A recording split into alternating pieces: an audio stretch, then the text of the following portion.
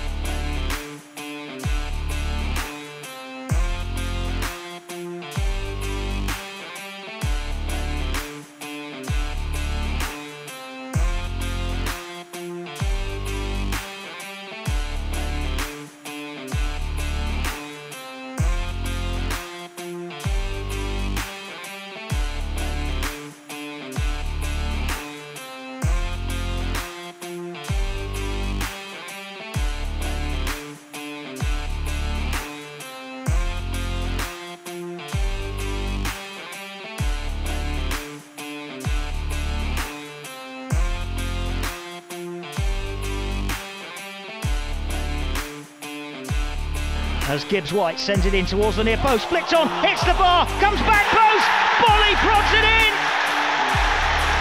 Willy Boly scores against his old club.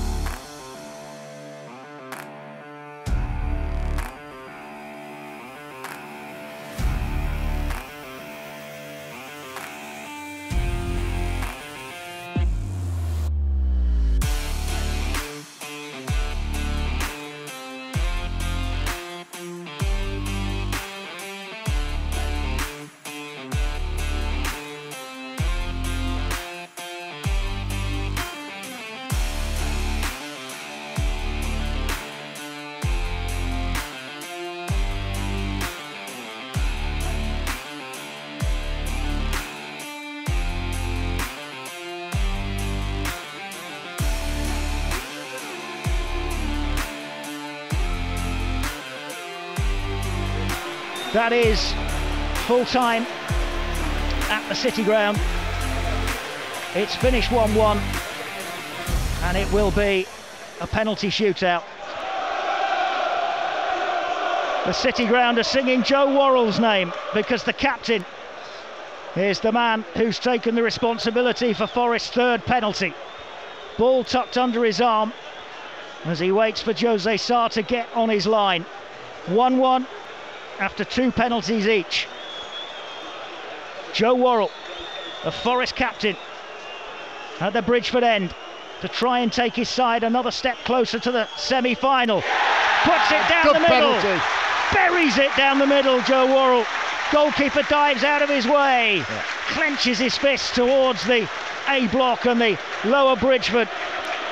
Forest lead the shootout 4-3. Here comes Hodge, and he's missed it. Henderson saves it, and Forest are in the semi-final of the League Cup. Forest win the shootout by four penalties to three. Henderson guesses the right way and dives low to his right to keep it out.